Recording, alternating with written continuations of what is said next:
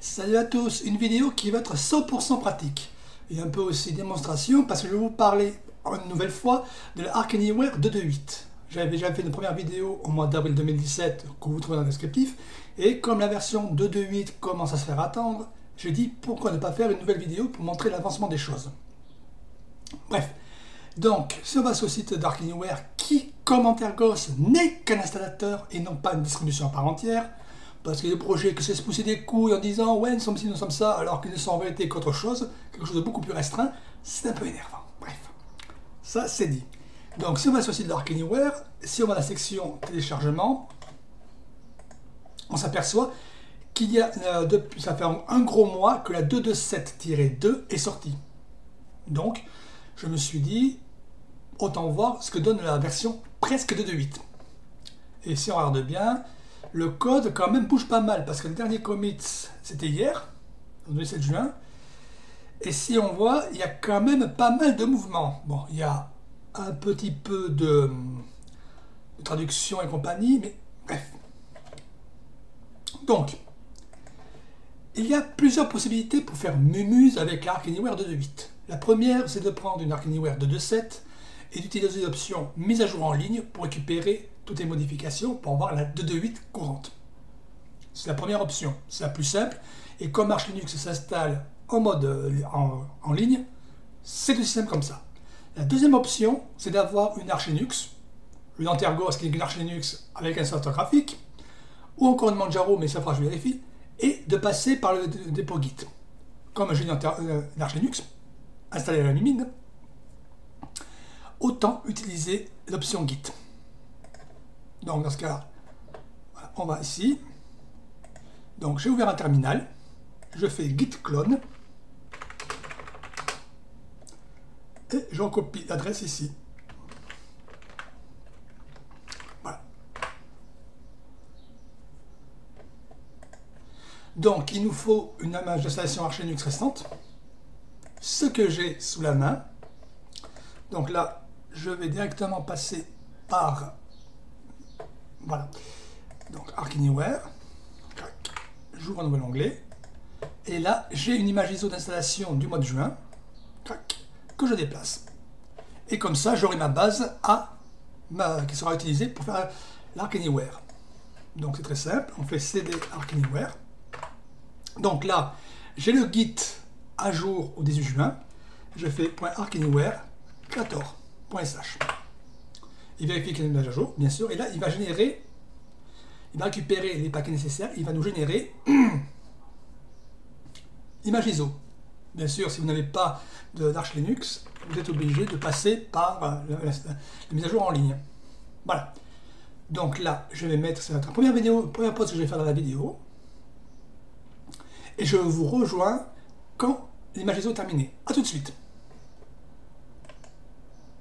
Voilà, 8 minutes sont passées, l'image ISO est créée. Donc je me note qu'il s'est passé 8 minutes. Et là, bien sûr, on va supprimer le... Voilà. Donc nous avons notre image ISO, l'installation d'Arc Anywhere, la preuve. Et elle pèse...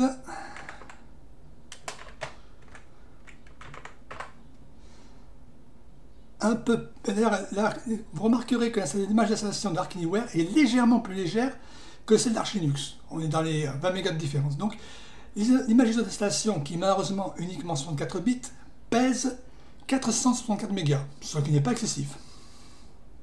Donc là, et pour des raisons pratiques, je me suis dit, je parle toujours en version BIOS, mais il y a pas mal eu de mouvements par rapport au support de l'UEFI. En dehors de Grub, qui a tendance à être un peu chiant avec VirtualBox, il y a UEFI Stub qui a été rajouté et il y a support d'enseignement Gumiboot qui s'appelle maintenant Système, de, D Boot. Je sais, certaines personnes vont bondir rien qu'au nom, mais Gumiboot, maintenant, ça s'appelle Système D Boot. Donc, je vais l'utiliser pour, euh, pour la vidéo suivante. Parce qu'apparemment, il est plus solide que Grub dans VirtualBox. Pas pourquoi, mais par moment, Grub a tendance à péter un câble et je me retrouve sans écran de démarrage dans VirtualBox avec une machine virtuelle en UEFI. Bref. Donc là, j'ai mon, ami VirtualBox qui est lancé. Donc je crée une nouvelle machine virtuelle. Arch Linux. on va mettre Arch Anywhere 228. Et comme ça, on saura que c'est du UEFI. Mettons des noms mnémotechniques. 2 Go de mémoire vive. Et on va mettre 128 Go de disque. Là, je vais rester en mode automatisé pour le maximum d'étapes. J'aurais pu très bien faire un partitionnement personnalisé pour le UEFI, je n'ai pas envie de me prendre la tête. Vous pouvez très bien faire un partitionnement personnalisé si vous avez envie. Ça passe par euh, CF disque en mode GPT, donc euh, bref. Donc là, on va juste modifier. Je ne veux pas ça. Ordre de démarrage. Processeur, on en veut deux. Stockage, donc on va mettre la bonne image. Qu'on se plante pas, ça sera quand même bête. Euh, réseau, accès par pont, stockage, blablabla, bla, bla, bla, affichage, rapport réseau série. Ok, on est go, on est parti. C'est mieux quand même si on met une machine de Non. Et là, on est parti et on va passer directement en plein écran. Donc voilà à quoi ressemble Gummy Boot. Pardon, système des boots, ça ressemble à ça. Donc là, on a l'image ISO qui va démarrer.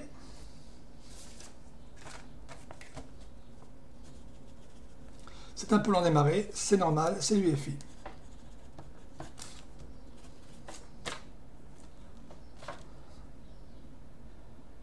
Allez, avance.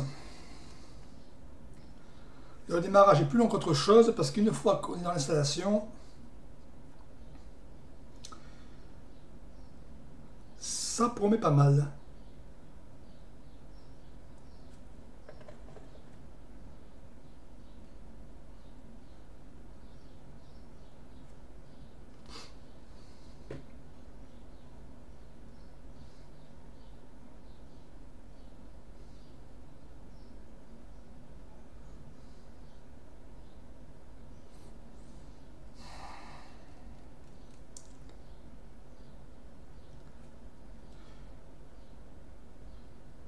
Alors il va démarrer, oui.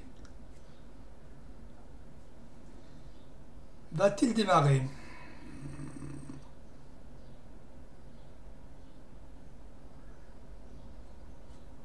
Le monsieur t'a dit qu'il fallait que tu démarres. Ah, ça y est. Il a été un peu long la comprenette. Donc là, nous avons l'Arc Anywhere qui démarre.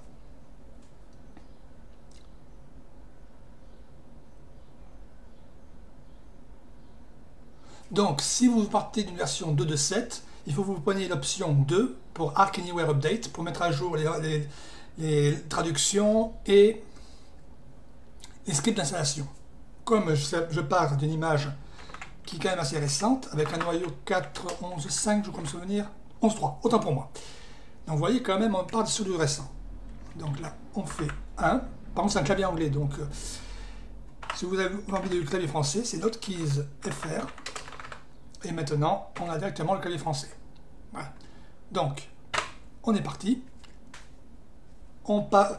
Vous remarquerez par contre, il y a beaucoup de langues qui ont été rajoutées. Donc maintenant, il y a l'anglais, le bulgare, le, néerlandais, le français, l'allemand, le grec, le hongrois, l'indonésien, l'italien, euh, lituanien, non, euh, lettonien, lettonien, lituanien, je confonds tous les jours les deux letton, lituanien, polonais, portugais, portugais brésilien, roumain, russe, espagnol et suédois.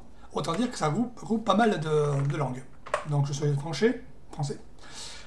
C'est la canicule qui attaque. Voilà. Donc, j'utilise les raccourcis clavier avec... Euh, par exemple, j'ai directement tapé F pour qu'il m'envoie directement sur les CDF. Autant utiliser les raccourcis clavier, ça permet de gagner du temps. Donc là, il va nous générer les miroirs les plus proches pour qu'on gagne du temps à l'installation. Donc on va garder notre clavier français. Si vous avez besoin d'autre clavier, vous allez sur Autre. Si vous avez besoin par exemple du français, clavier français canadien, vous irez sur Autre Keymaps et vous aurez le, clavier qui va bien. Donc idem, idem pour la localisation. Ça dépend de l'endroit où vous habitez. Donc comme j'habite en France, après ça E pour arriver à Europe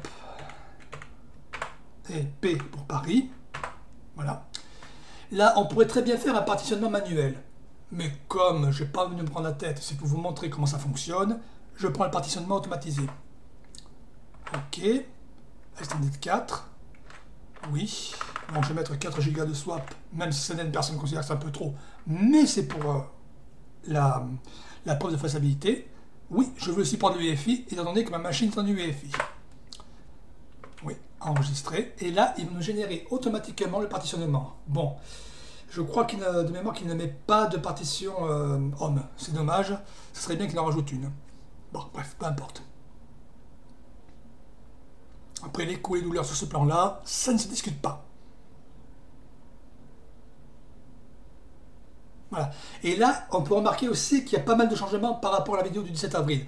On a bien sûr le noyau base, Hardend qui remplace le noyau GRSEC, le noyau LTS, le noyau Zen. C'est là qu'on on a le choix entre quatre noyaux différents. Je vais rester avec le, noyau de base et les paquets de développement, ce qu'on appelle les headers. Là, je, euh, vous remarquerez que j'ai modifié certains trucs par rapport aux traductions qui avaient faites, qui avaient été euh, des retours, parce que je m'occupe euh, avec euh, Barbatruc de la traduction en français. Enfin, je l'ai reprise et je l'ai complétée. Donc, je vais prendre ZSH. Et voilà, on a maintenant 4 gestionnaires de démarrage pour l'UEFI. Bien sûr, si on passe en BIOS, on n'en a que deux. On a Grub et SysLinux. Mais avec l'UEFI, on a système boot, anciennement Boot, et FI Bootloader. Je vais prendre système boot, celui qu'on a au démarrage de l'image ISO. Je prends Network Manager. Allez, je vais activer le multilib, même si c'est pas obligatoire. Oui, j'étais DHCP, oui. Non, j'en ai pas besoin. Non, je ne suis pas en, multiboot, donc c'est pas la peine. Alors là, euh, vous vous souvenez quand Argos disait Ouais, nous sommes installateurs, nous avons six environnements. Ouais, donc si on sort les deux saveurs euh, Arc Anywhere, on a Budgie 1, 2, 3, 4, 5, 6, 7, 8, 9. Et maintenant, on passe au gestionnaire de fenêtres. Donc déjà, on a minimum 9 environnements différents.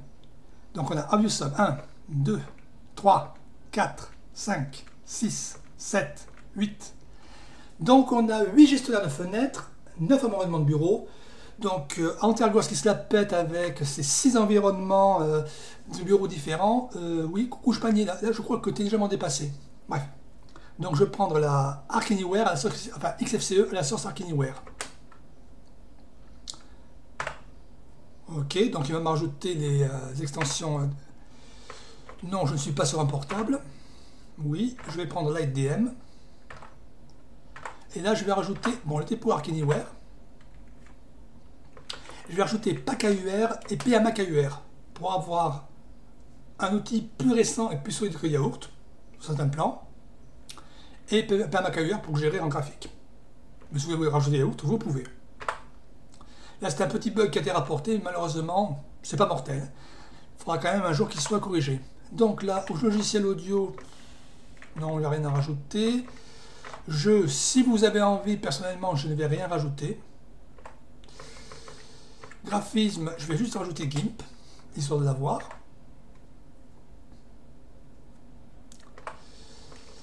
Euh, Internet, vous pouvez mettre Chromium, mais je vais rester avec FileZilla, Firefox, Thunderbird et transmission. Vous voyez quand même, y a pas mal de choix. Après, c'est vous qui voyez. Ok, et on s'aperçoit qu'il y a aussi la traduction. Multimédia, euh, je vais mettre les codecs. Euh, je verrai après ce que je mettrai comme lecteur vidéo. Je me tâte un peu, là on verra après. Comme on peut broder après autour. Émulateur de terminal, c'est bureautique. Donc là, je vais rajouter LibreOffice Fresh. C'est la version évolution sur le site officiel. Donc c'est la version 5.3 pour euh, cette vidéo. Éditeur de texte, je vais rajouter mon petit chouchou VIM. allez, on va, on va faire le geek, on va rajouter Emacs.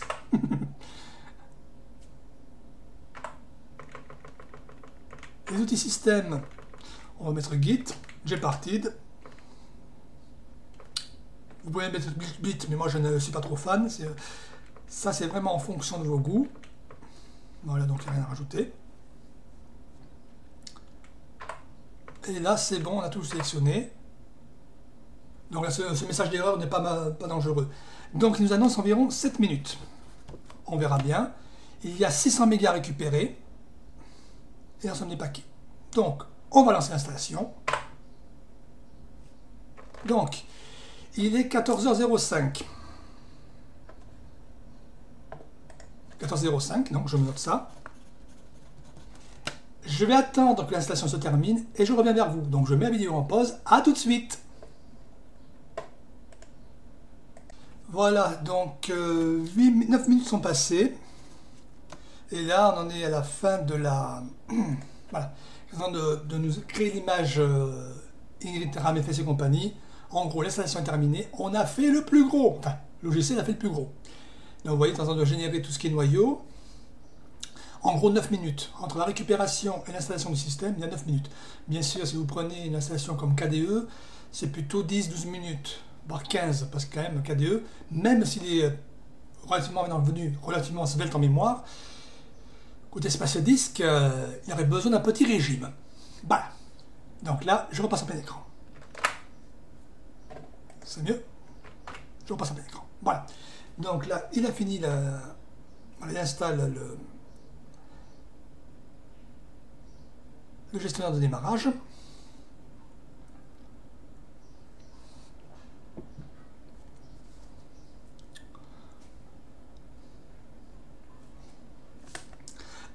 Pardon. Bien sûr, si vous avez choisi Grub, il vous installera Grub. Si vous avez choisi EFI Stub, il vous installera EFI Stub. Si vous avez choisi SysLinux, il vous mettra SysLinux. Ça dépendra de ce que vous avez choisi. Là, pour cette vidéo, j'ai pris anciennement Boot qui est devenu système boot. Alors, voilà. Donc, il nous insère le, fuseau horaire, il nous crée tout le bazar. Donc, la scène automatique, c'est-à-dire les lignes sudo nano, euh, euh, local.conf, euh, tout le bazar que normalement on doit faire la mimine. Donc, là, je vais mettre un nom qui parle bien le mot de passe-route. Heureusement qu'on a le clavier qui colle avec l'agencement. On va rajouter un nouvel utilisateur. Je vous montrerai un petit truc juste avant de redémarrer. Deux petits trucs. Oui, je veux les l'administrateur, donc terminé. Et là, avant de redémarrer, on va choisir l'option Entrer dans le système avec CHRoot. Vous allez comprendre pourquoi. La première chose que je vais faire, c'est donner un nom long à mon utilisateur. Donc, chfn Fred, ou votre nom d'utilisateur, et vous pouvez taper votre nom complet. La deuxième chose, c'est qu'on va désactiver le dépôt Arc Anywhere, qui ne sert plus à rien maintenant parce qu'il nous a permis d'installer PAC-AUR, Pacman euh, PMAC-AUR, quelques petits outils. Donc on va dans nano, etc., pacman.conf. Aussi, si par exemple, si on a envie d'installer, d'activer dépôt testing, on peut le faire. Mais là, je vais rester dans le stable. Donc là, le plus simple, je rajoute des dièses pour, voilà, CTRL X, oui. On fait exit et on peut redémarrer. Normalement, le démarrage va être un peu plus rapide. Normalement. Donc là, nous avons l'entrée Arch Linux. C'est vrai quand même que sans passer par un support live, c'est plus rapide. Bon, bien sûr, je vous montrerai après comment installer tout ce qui est Cubes et compagnie, mais déjà, on a une bonne base installée. C'est vrai que le défaut d'Arc Anywhere, c'est qu'il n'installe pas certains trucs comme Cubes, par exemple. Mais ça, on va le faire ça tout de suite. Donc, nous allons avoir la session Arc enfin XFCE Arc que je trouve très agréable à euh, l'apparence. Donc, si on va dans l'outil gestionnaire de paquets, PMA KUR si vous préférez, je vais juste activer. Tout va bien démarrer. Voilà, merci. Ce truc que je vais activer, c'est Pardon. Voilà, je vais virer les dépenses inutiles, activer le support d'AUR. Et si on va là, si on fait un petit uname-a, on s'aperçoit qu'on a un noyau 4, 11, 5. Ce qui est quand même pas si mal que ça. Alors, dans les paquets étrangers, on a Wikicli, c'est-à-dire euh, tout ce qui. C'est c'est pour rechercher euh, dans le wiki Arch Linux en ligne de commande. Ça peut toujours servir pour les personnes qui sont intéressées. Cower qui sert de base à um, PKUR. FetchPKG, je ne suis pas super fan. Hein. Voilà à quoi ressemble FetchPKG. C'est un outil pour les personnes. Moi, je suis pas super fan, donc je vais le virer. Mais si vous avez envie de le garder, vous pouvez le garder.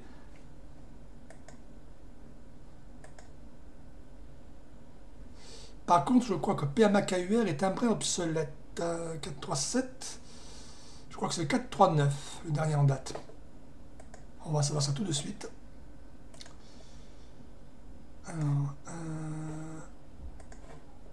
parfois, il y a des paquets qui ne sont pas forcément à jour. Moi, je confonds avec un autre logiciel. Je confonds entre PAKUR et PMAKUR. C'est la, proximité des deux qui n'aide pas vraiment. Non, le système est à jour, autant pour moi. Donc on a HTOP. Et voilà à quoi ressemble notre ami Arc Anywhere. Euh, développement, donc on a IMAX, bureautique, internet, multimédia. Euh, je vais peut-être mettre Quadlibet par exemple, ou euh, Lollipop, je ne sais pas encore. Ah oui, par contre, la première chose que je vais faire, c'est rajouter le support de CUPS. CUPS Filter. Euh, System Config Printer. Euh, qu'est-ce qu'il me faut aussi? Ah oui, les filtres, euh, tout ce qui est Gutenprint. Voilà. On va mettre l'ensemble pour avoir des, le support maximal des imprimantes. Mais comme j'ai une imprimante HP, je vais aussi rajouter HPLIP. Là, c'est vraiment définition, ce n'est pas obligatoire, mais c'est toujours bien agréable de pouvoir fignoler l'installation terminée. Bien sûr, si vous avez notre euh, truc, ne peut pas tout prévoir, donc ça permet comme ça de compenser les, les manques. Donc normalement, on a Tunar. Par contre, je ne pense pas qu'il y ait le support de tout ce qui est réseau et compagnie. Ah si, autant pour moi. C'est vrai, j'avais fait une demande pour que le réseau soit rajouté.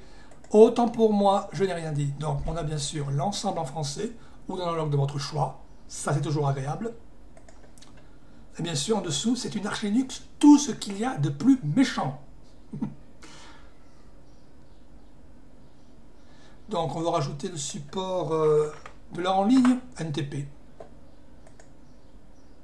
Voilà. Je prends NTP, on peut aussi prendre Chrony, mais ça, les goûts, les couleurs, ça ne se discute pas. Euh, ah oui, on va mettre aussi la l'appliquette de, réseau.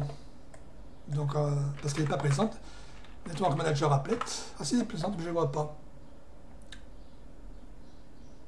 Ah oui, là, Besso est en bas. Elle me crève les yeux, je ne la vois pas. Donc, ok, l'appliquette de Network Manager est bien en place. Donc, ah oui, c'est vrai que PHP4G, je l'ai enlevé, donc on va l'enlever aussi. Voilà. Euh, voyons. Clac. Archwiki, blablabla, multimédia, paramètres. Alors, l'apparence, c'est un thème arc, je pense, ou arc d'arc. Les icônes, c'est les icônes arc. C'est très bien comme ça. Ensuite, euh, vous voyez quand même, c'est quand même du rapide. Hein. Alors, nous avons dit, donc je vais activer, donc je vous montre la commande pour activer. Alors, sudo systemctl enable org.cups.cupsd. Je vais rajouter Avai Daemon. DNSConfD. Ah, j'oublie un truc, j'oublie un paquet pour... Euh, donc on va mettre aussi NTPD. Et comme ça... Ah mince. NTP, euh, NTP n'a pas été rajouté. C'est pas grave, on va le rajouter. Mince, c'est pas lui que je voulais. J'ai paquet. Je croyais l'avoir ajouté, autant pour moi.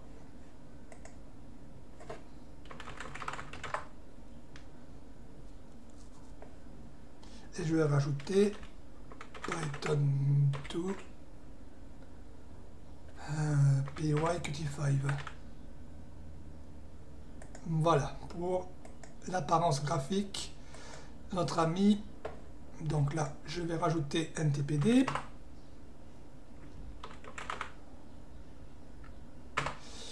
je crois qu'il faut aussi le paquet euh, GTK3.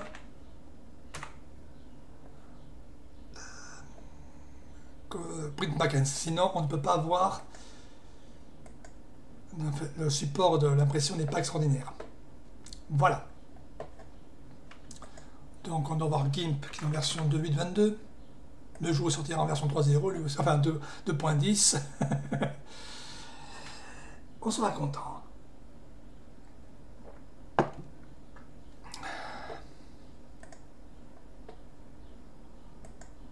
Donc, ok. Je rajouterai après mon imprimante.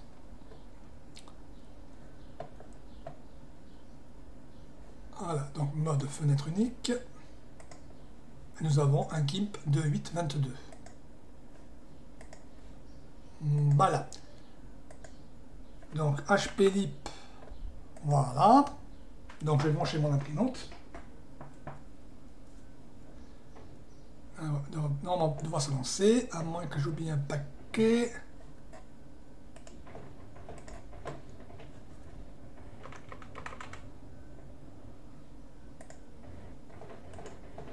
Détail. Dépendance optionnelle. CUPS. Ah merde, c'est Python, pas Python 2. Autant pour moi, je me suis gouré. Autant pour moi, donc c'est Python, pas Python 2. Donc je cherchais Python 2. Je sais plus si c'était en Python 2 ou en Python 3.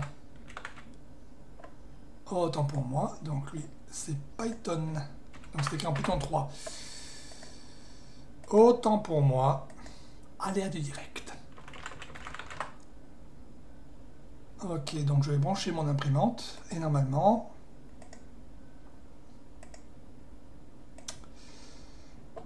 je veux brancher l'imprimante, merci. Et si je relance HPLIP cette fois-ci, ça devrait être bon.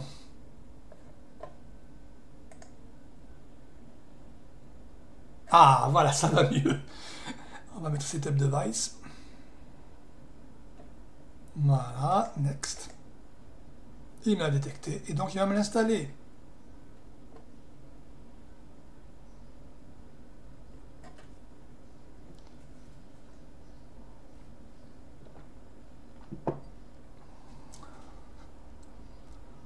Bien sûr, quel que soit l'environnement, si vous avez besoin d'ajouter des paquets, c'est le même principe. Donc là, par contre, il faut passer avec l'utilisateur root, sinon ça va pas être la joie.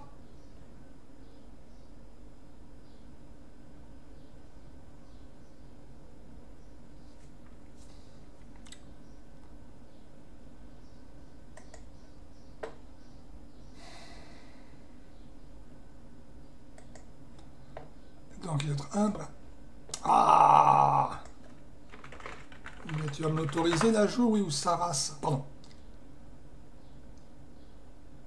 Donc il me reconnaît toujours, mais est-ce qu'il va me l'installer maintenant? Bon, d'accord, apparemment. On va fermer.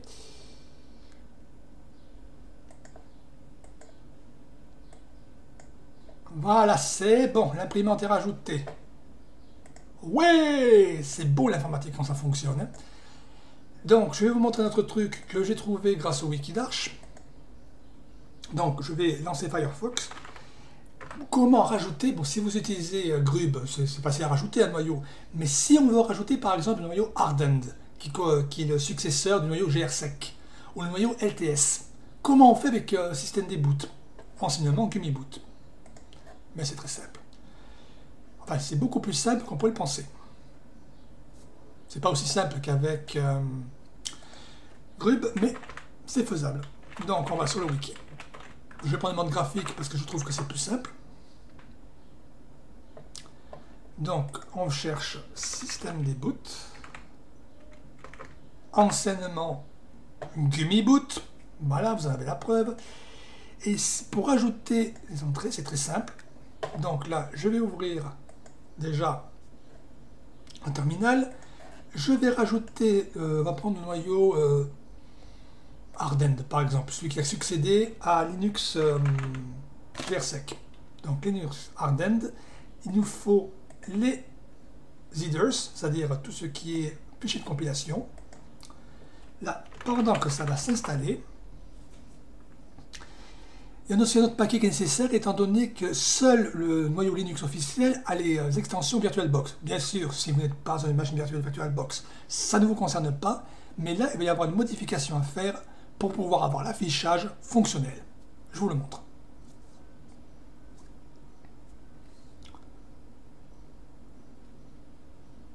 Et bien sûr, je vous rappelle, et je le remettrai en descriptif, c'est une archi Linux, donc c'est pour les personnes qui ont déjà de la bouteille en termes d'utilisation linuxienne.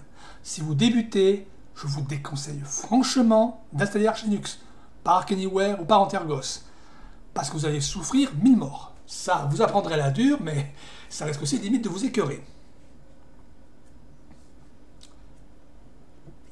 Ça, c'est dit. Après ça, si vous n'avez pas envie de suivre les conseils, c'est votre problème, ce n'est pas le mien.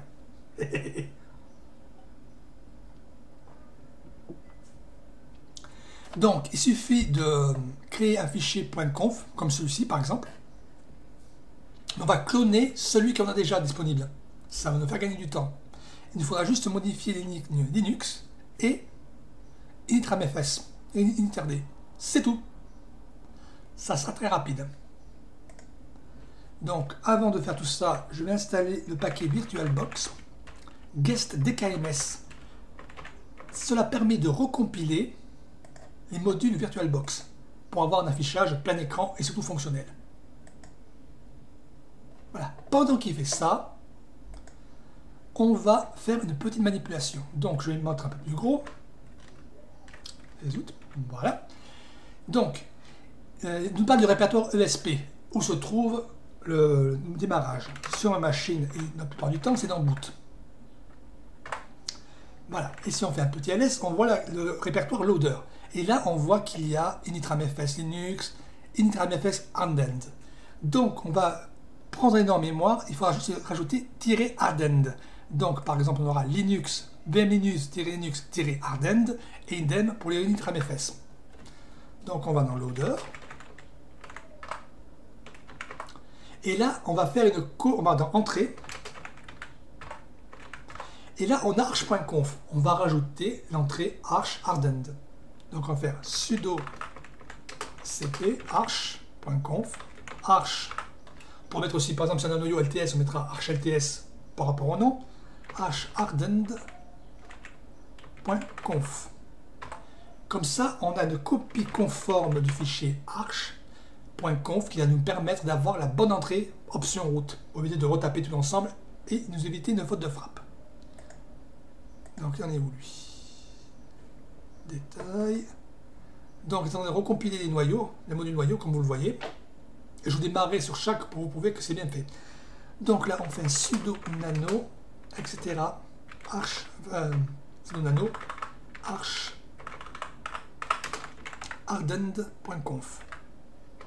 Voilà.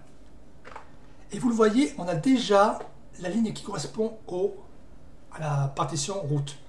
Donc, on a juste besoin de modifier ça. On va mettre Archinux Ardend comme nom d'ensemble. On va rajouter Ardend pour le nom du noyau. Et là, on va rajouter "-ardend" pour l'initRD. Et pour chaque noyau, vous aurez ça à faire. On enregistre. Euh, non. Voilà. Je crois que j'ai fait une erreur. Non, c'est bon. Donc vous voyez, on a bien le titre qui sera Arch Linux Ardent, le noyau qui sera le VM Linux Ardent et l'interd qui correspondra.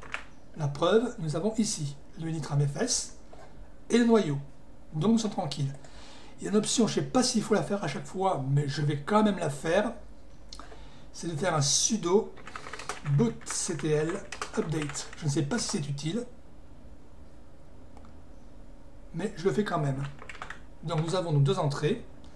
Et là, pendant qu'il finit de nous compiler, voilà, vous voyez, il a compilé les modules pour le noyau 4.11.5 stable et le 4.11.6 hardened.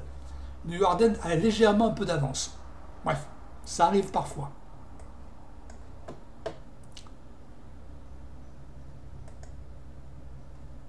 Et là, je vais faire redémarrer ensemble et vous allez voir, on aura deux entrées, si tout se passe bien, on aura deux entrées avec deux noyaux différents. Si vous avez envie de rajouter noyau LTS, vous rajoutez noyau LTS avec ces paquets headers qui va automatiquement recompiler les, extensions VirtualBox parce que je suis dans une VirtualBox. Après, il faudra créer un fichier .conf spécifique pour système pour Gumiboot, alias système boot, et automatiquement, on aura la troisième entrée. C'est un peu long à expliquer, mais c'est beaucoup plus rapide à faire. Voilà, donc c'est bon. Maintenant, si tout s'est bien passé, en redémarrant, j'aurai deux entrées au bout de démarrage.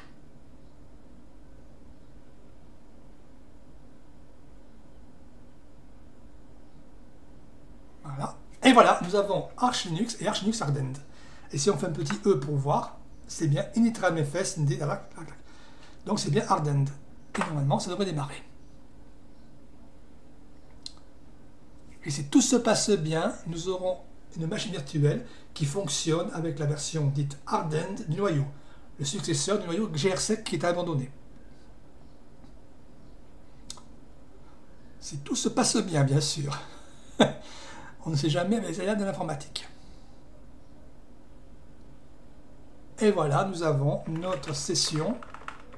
Bien sûr, ça sera vrai avec n'importe quel environnement. Et nous avons le noyau Ardent. Je vais vous refaire le même exemple avec le noyau Linux LTS. Et vous verrez, on aura une troisième entrée. Et si on regarde, si on fait un uname-a, nous avons bien un 4, 11, 6 Ardent. On va faire la même chose avec le noyau AUR, enfin le noyau AUR, avec le noyau LTS, pas de problème. Donc, avant toute chose, je vais quand même rajouter Quadlibet, par exemple, pour avoir un lecteur son. Euh, je vais rajouter aussi SM Player pour avoir un lecteur vidéo. Voilà, donc comme ça on va installer les deux.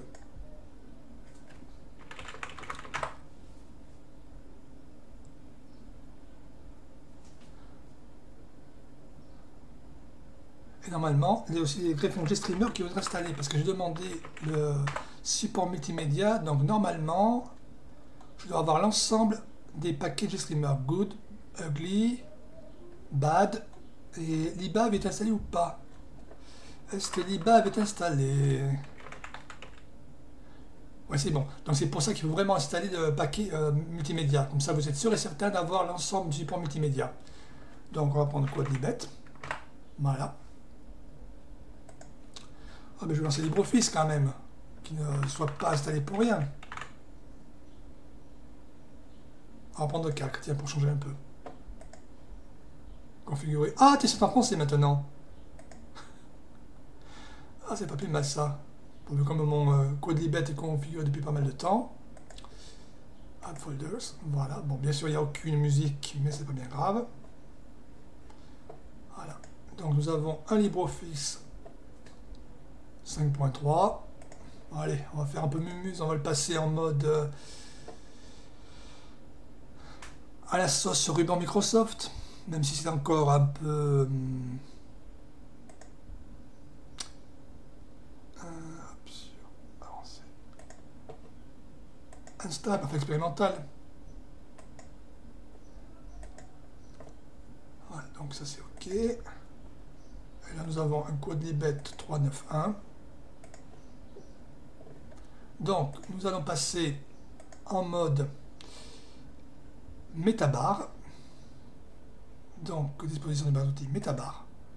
Et voilà, nous avons la présentation à la Microsoft Office 2007 et suivant. C'est beau l'informatique quand ça fonctionne. Hein. donc j'avais dit que je voulais vous montrer, donc j'y suis SM Player. Préfère une MPV, mais les coups et les douleurs, n'est-ce pas? Bah, SM Player. Ah c'est vrai, il va nous ouvrir une fenêtre Firefox. Normalement. Voilà. Coucher, coco panier. Coco panier, hein Donc là, je vous avais dit que je vous montrerai pour le noyau LTS, histoire de bien vous montrer que ça fonctionne aussi pour le noyau LTS. Linux LTS. Clac, clac, avec les headers qui vont bien. Bien sûr, si vous avez besoin du pilote NVIDIA, vous comprenez qu'il faudra l'installer. Donc, pendant ce temps, on retourne dans... On va faire CD boot. CD loader. Entries. Voilà, donc on va faire cparch.conf, on va mettre archlts.conf.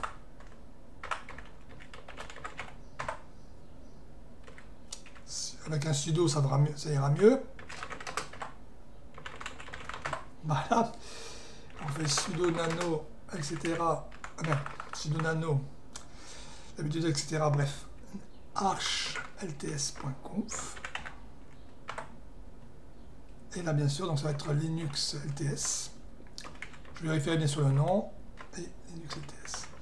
Et pour se souvenir que c'est bien noyau long terme, on met Linux LTS aussi. Oui. Ok. Donc là, on va voir. Détail.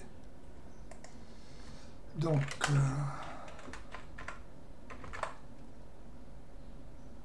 oui, c'est bien Linux LTS.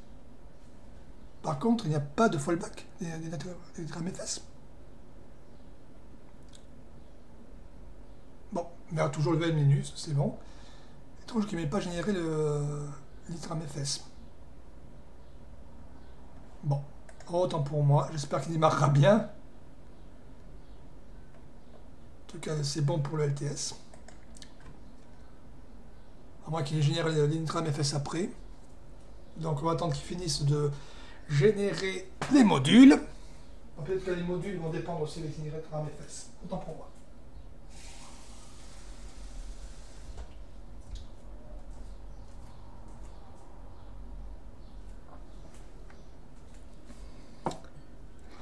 Donc vous voyez quand même Anywhere a fait pas mal de progrès. Ce serait bien quand même qu'il nous sorte une version 2.2.8 officielle.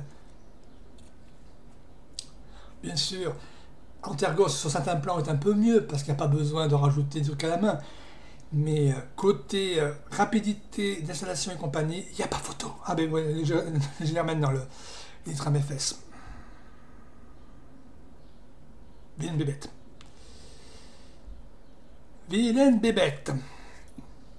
Donc normalement, on va redémarrer une dernière fois sur le noyau LTS et ça sera bon.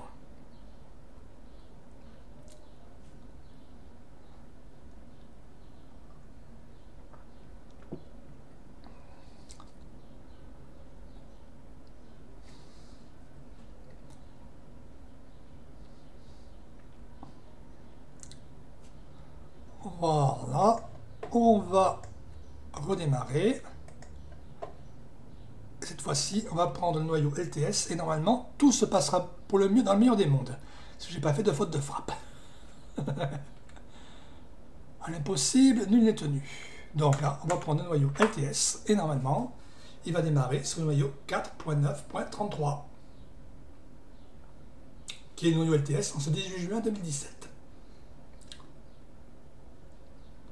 Et qui doit être aussi le noyau, je pense, euh, à peu de choses près de la Debian euh, Stretch 9.0,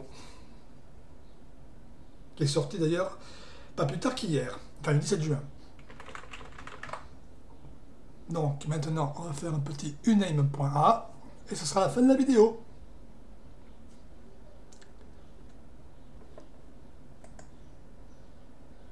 Si on fait un petit uname-a, 4933 LTS.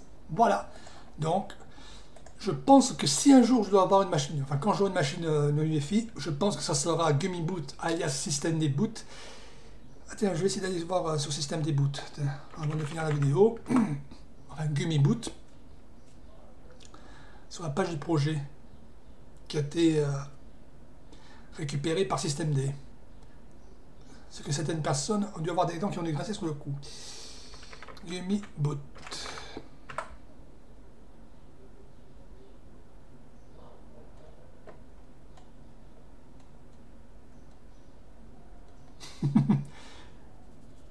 Alors, voyons voir ce qu'il nous dit sur euh, Wikipédia.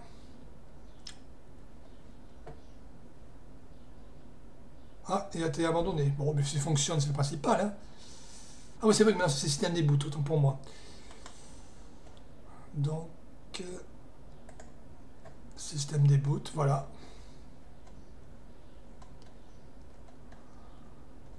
La page officielle de système des bouts. Et quelle est la dernière version du système des boots?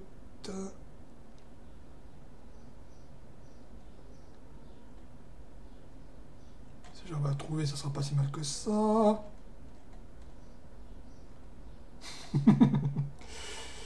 Alors, système des boots. Euh, non, c'est pas ça. Bon, ben j'en ai sur le wiki d'Archinux. Pas sur archinux.org.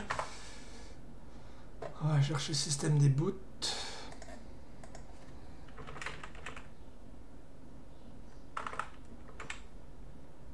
Donc ça va être sûrement dans les paquets officiels qu'il y avoir système des boots.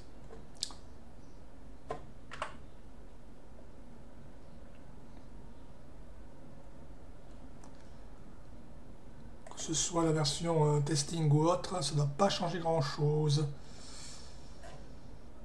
Alors,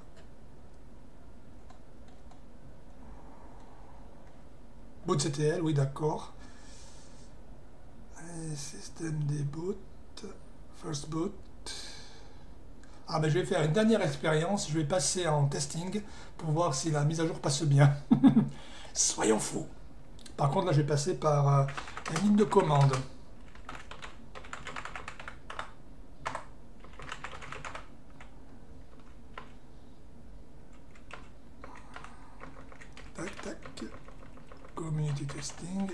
Suis à Multilib. Allez, paquet UR, moi, c'est Q. Donc là, c'est vraiment le côté cascade. Je ne promets rien, c'est juste pour la curiosité. Donc on passe à système D233, noyau 4, 11, 6, HP LIP 317.6-1, donc il n'y a pas grand chose de nouveau. Les 9 paquets, c'est pas ça qui va être mortel. Par simple sécurité, par contre, je vais mettre un boot CTL update. Là, c'est vraiment par curiosité, je vais voir si ça fonctionne bien. Et je démarrer sur le noyau euh, court terme pour varier un peu les plaisirs.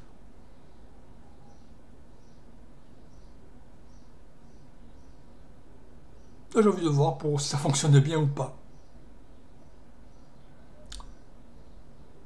Ah, je me demande si zip et zip sont installés, tiens.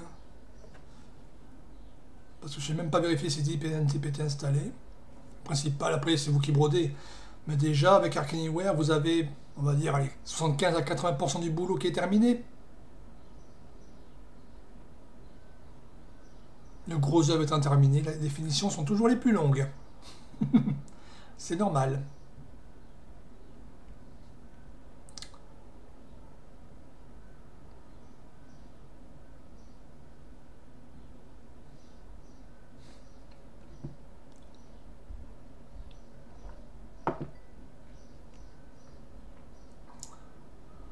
C'est vraiment la partie cascade de la vidéo.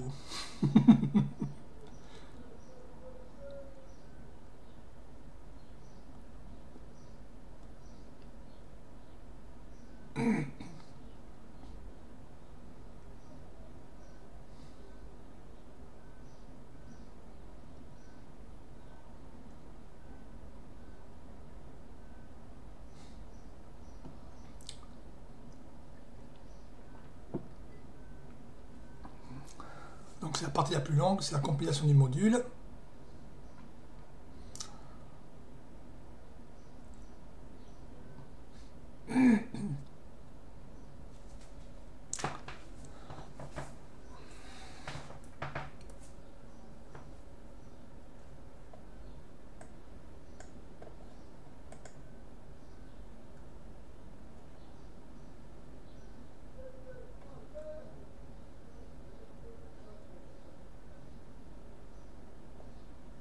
Tuer le temps, hein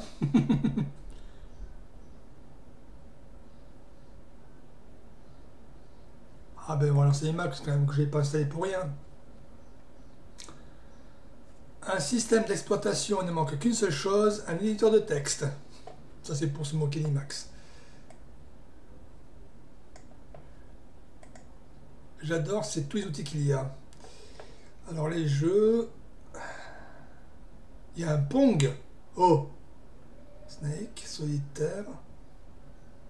Tetris, Zone Out, c'est quoi? Bubbles, Black Box, Adventure. Oh, un texte. D'accord. Alors, on va voir. Euh, pom, pom, pom, pom, pom. Gomoku, c'est quoi? Un tic tac ok. Bubbles, Black Box.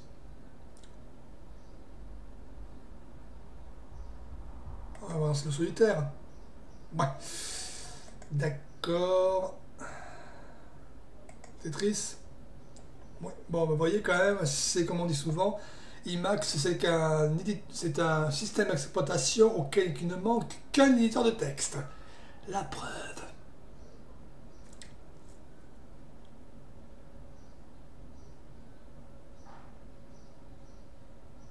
Tiens, pourquoi imaginer ça Bon. Pourquoi pas?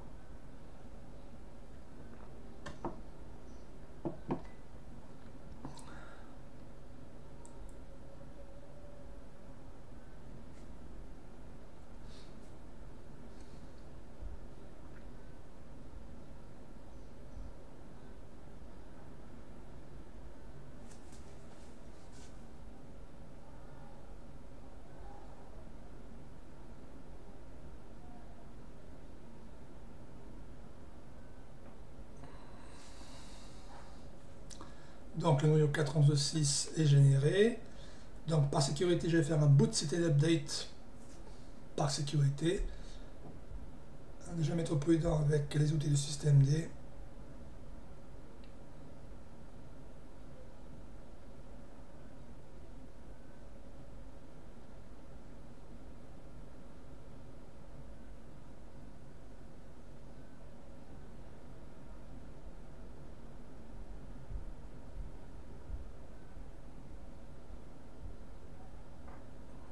Donc, voilà, c'est terminé. Donc, sudo boot ctl update.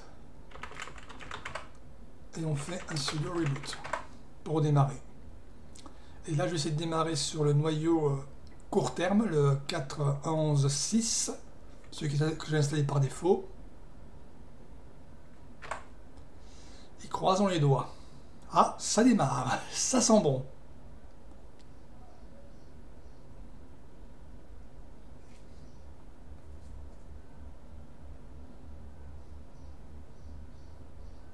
Si vous entendez un boum boum boum de bruit de fond, c'est mes chers voisins qui ont lancé leur techno de merde. Bref, on a fusillé pour moins que ça pendant la Seconde Guerre mondiale.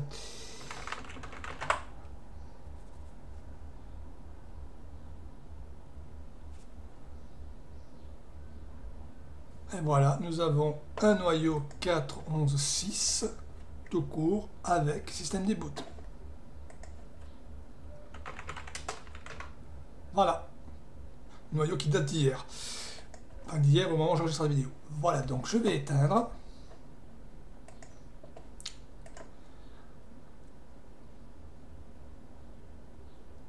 J'espère que cette longue vidéo vous a plu, que vous avez appris des trucs que euh, Arc Anywhere 228, si vous avez envie d'utiliser, sera pratique pour vous. Sur ce, je vous laisse, je vous dis salut à tous et à la, bonne prochaine, à la prochaine. Bye bye Et surtout, survivez bien la canicule. Ciao